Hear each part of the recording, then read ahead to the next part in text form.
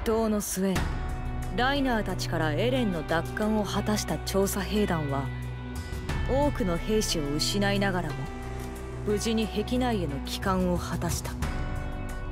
巨人の正体が人間であることクリスタの正体がウォール教の秘密を握るレイスケの子女ヒストリアであったこと。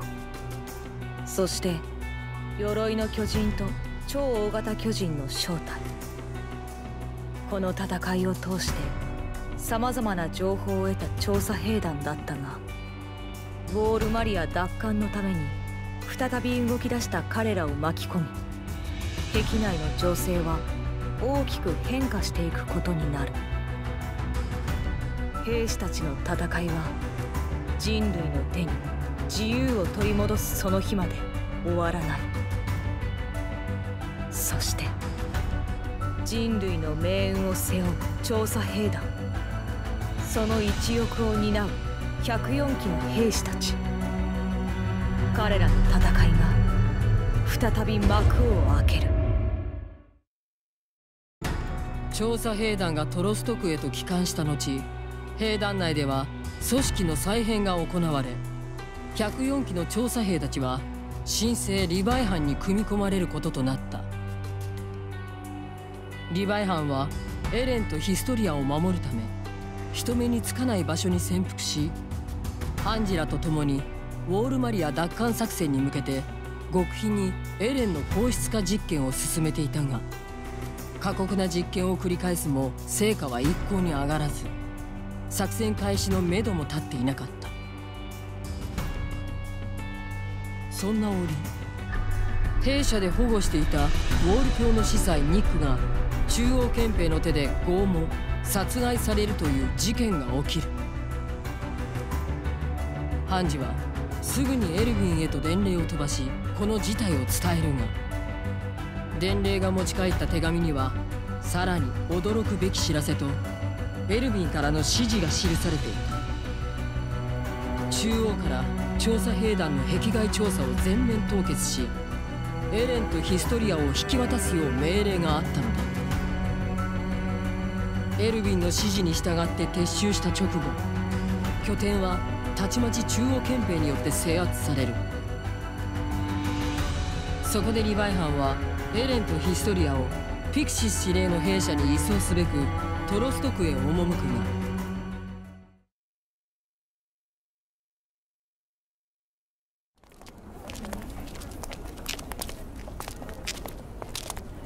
が。あまり団子になって歩くなよ。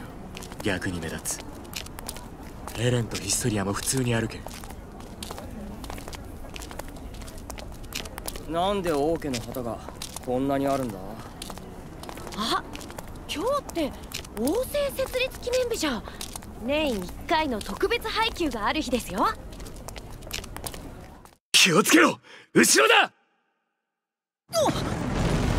あアルムじゃなくてクリスタとエレンがまたさらわれてしまった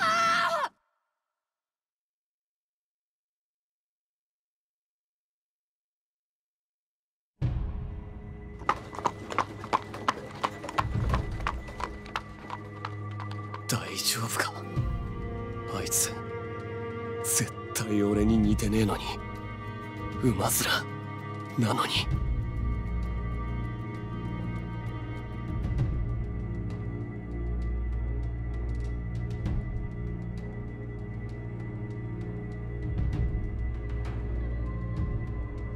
中の様子はどうだ？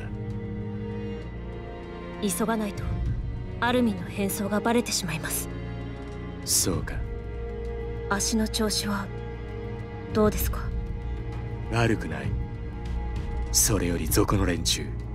あれはただの素人だ。なんでそんなのを使ったんだか。あとはお前らで十分だろう。俺はエレンたちの方へ行く。とりあえず奴らを抑えたらすぐに合流しろ。了解。それから念のために言っておくことがある。アルミンたちにも伝えろ兵長。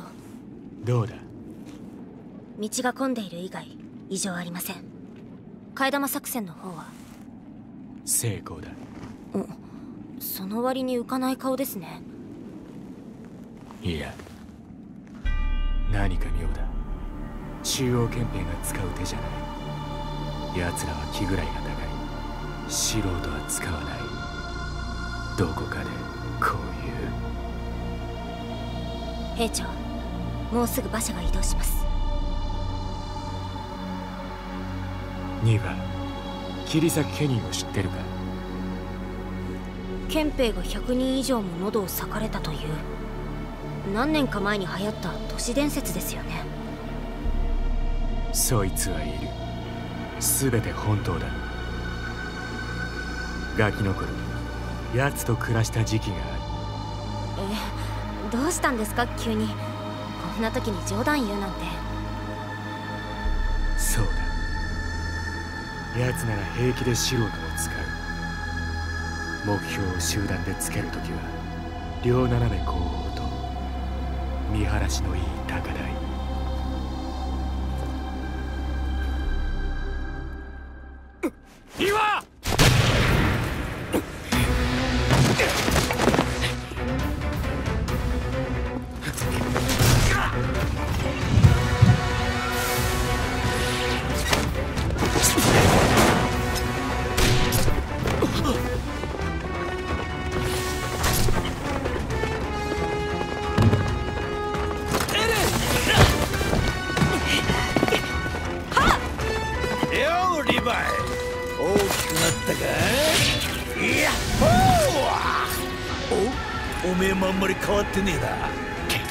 け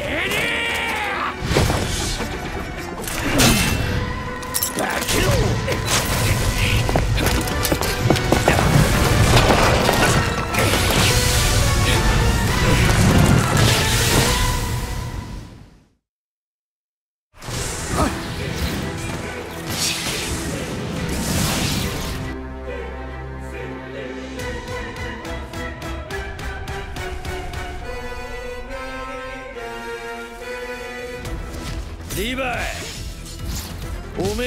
し合うことになるとはな。ケニー。よりによってなぜ奴が憲兵に？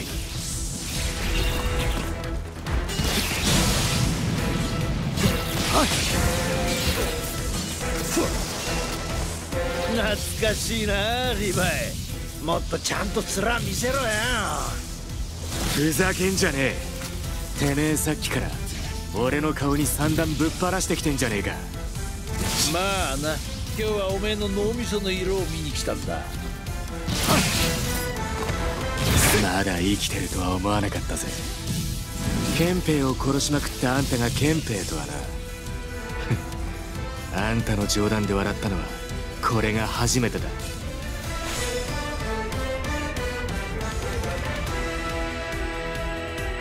リヴァイ勝負はお預けだ。また後で会おうぜミカサたちはエレンとヒストリアの身代わりとして拉致されたジャンとアルミンを救出しその場に実行犯たちを拘束するとリヴァイと合流すべくトロスト区へと向かうが。銃声です。ほら何発も鳴ってますよ。やっぱ何かあったのか。多分あった兵士長からの伝言はこう。これからは巨人だけじゃなく人と戦うことになる。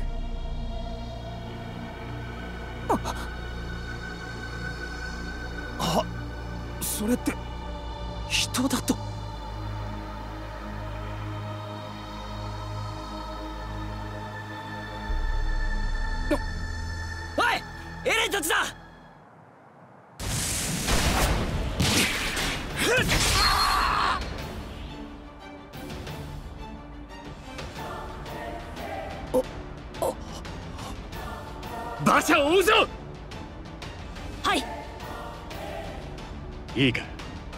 奴らは対人の戦闘に慣れてる。もう何人かやられた。エレンたちを取り戻すためには躊躇するな。殺せる時は殺せ。分かったか。了解。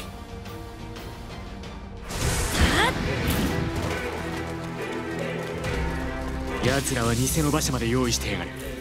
片っ端から確認していくしかねえようだ。3回しろ。手分けして馬車を探すぞ。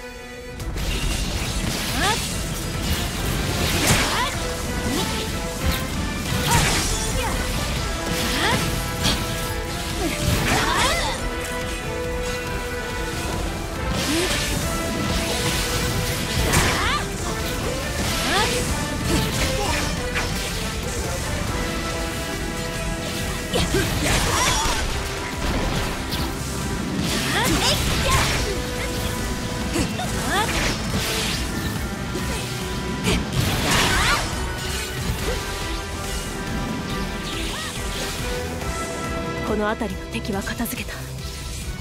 エレンエレンはどこなの？見つけたぞ。馬車はあそこだ。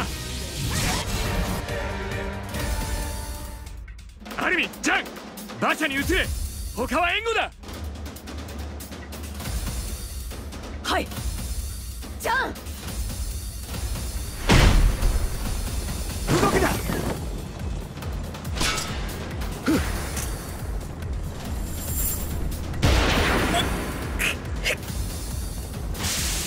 まずい。アルミンジャン！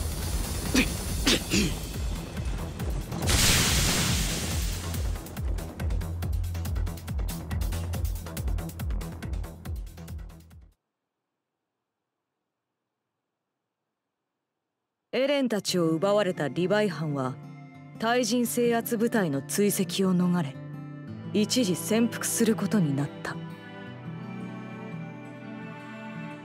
どうした？いえ。わからないことがあって。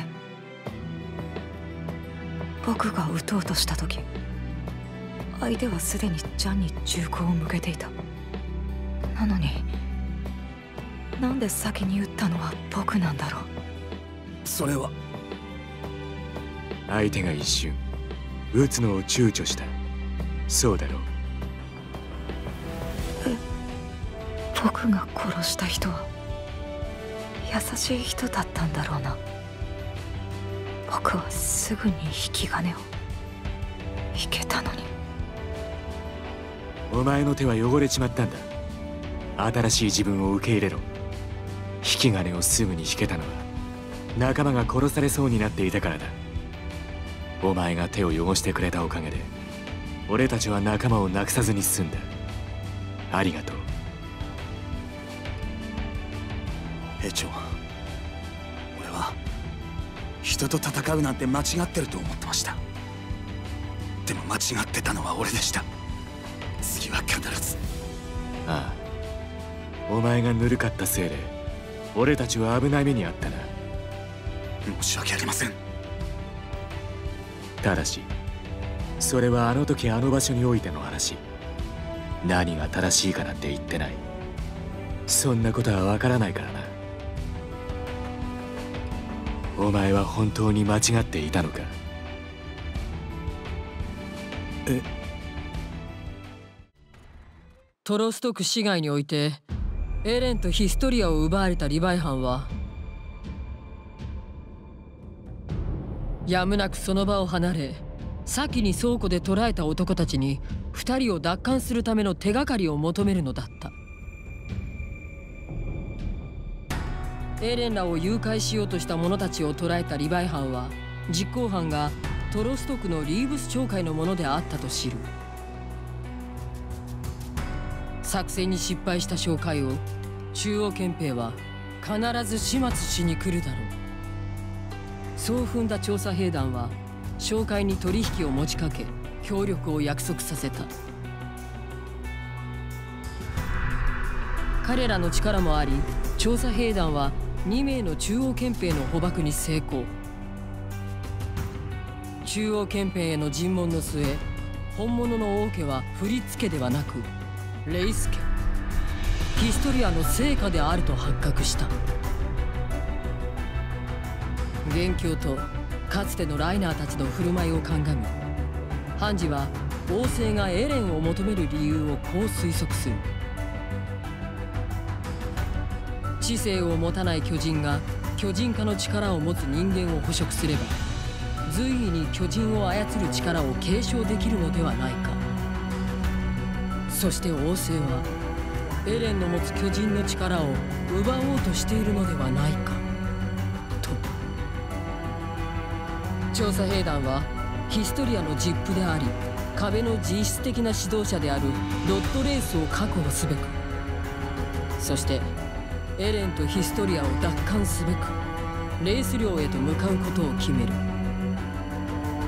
だがそんな時リーブス長会が調査兵団に協力したと中央憲兵に漏れ会長のリーブスがケニーの手により暗殺されてしまう。中央憲兵は彼らの殺害容疑を調査兵団になすりつけ団長エルヴィンを連行尋問を執り行った。の間に引き出されたエルヴィンは王政幹部の前で調査兵団の有用性を説いたが受け入れられず。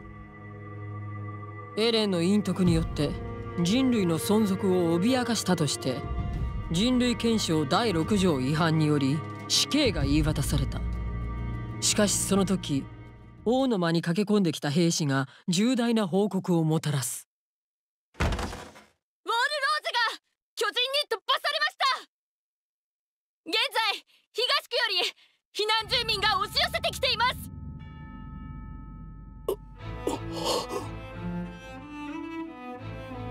ビクシシエにあることを委ねた。その時俺はただ見ている。選ぶのはお前だ。そして彼らだ。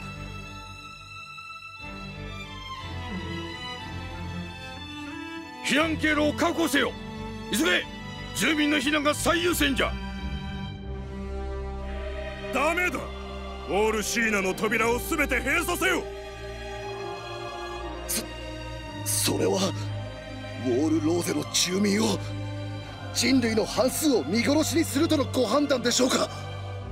避難住民を受け入れれば内戦が始まるだけだ。我々は最上位の意思決定機関であるぞさっさと動かぬか？できません。俺はウォールローゼの人間だ。扉の閉鎖は阻止させてもらう。私も加勢しよう彼らの返事は意外だったかの？ザックレー総統いやちっとも。ザックレーこれは一体？先ほどの報告は誤報ですご安心ください。貴様何の真似だ？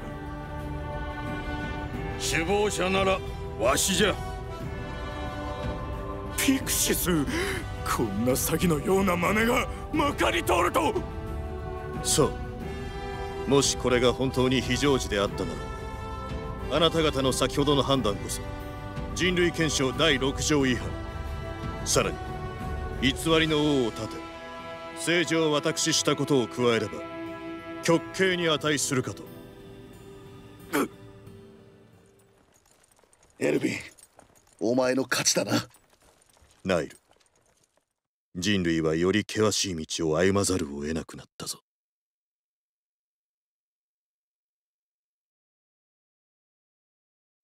森に潜伏中のリヴァイ班は拘束した憲兵からケニーの姓がアッカーマンであることを知る。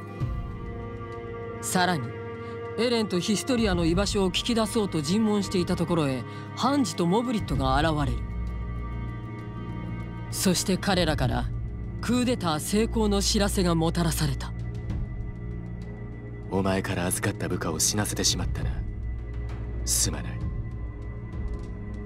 でも敵の鉄砲どもは君らで無力化したんだろ？いや全部じゃねえ。その親玉とエレンヒストリアはまだ別の場所にいる。それなら手がかりがある。この戦いはそこで終わりにしよう。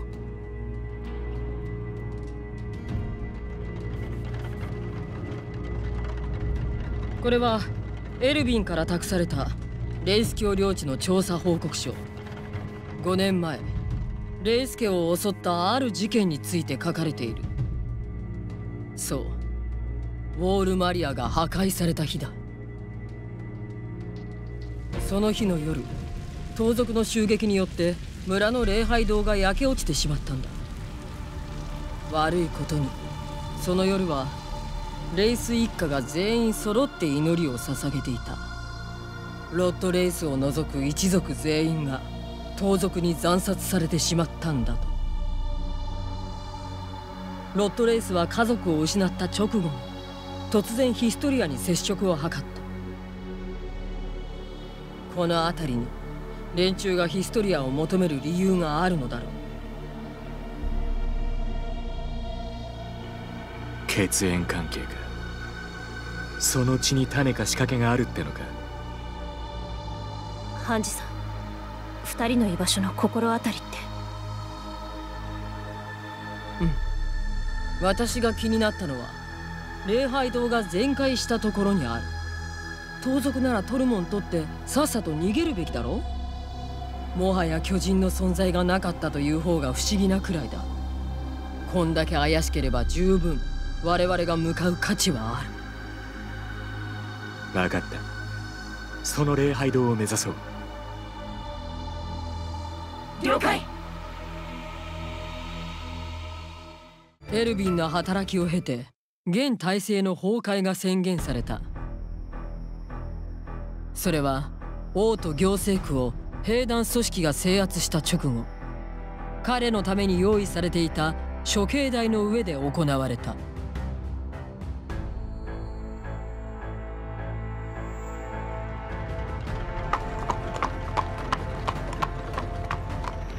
人類を思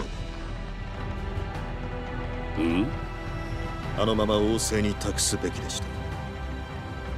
彼らには今日まで人類を巨人から生きながらえさせた術があります。人より。人類が尊い君の使命は相変わらず辛いな。死んだ方がはるかに楽に見えるしかしだったらなぜそうしなかった？それは？私の理由を言おうか。昔から奴らが気に食わなかったからだ。あ。君らがやらなくても私がくたばる前に一丁かましてやるつもりだったのだ。このクーデターが人類にとっていいか悪いかなどには興味がない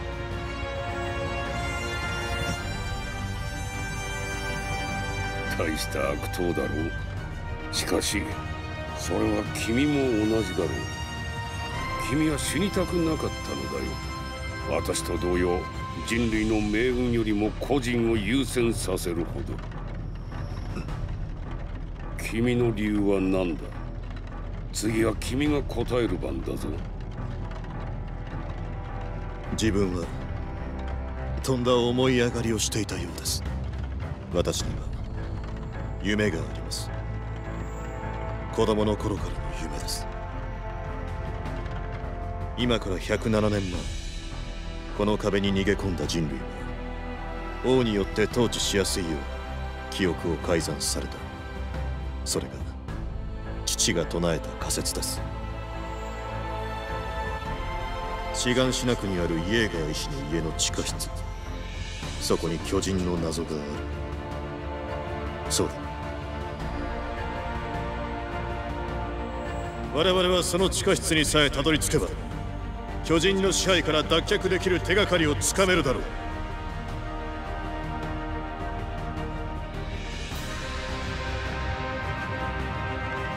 いつか父の仮説の答え合わせがしたい。それ私の夢なのです。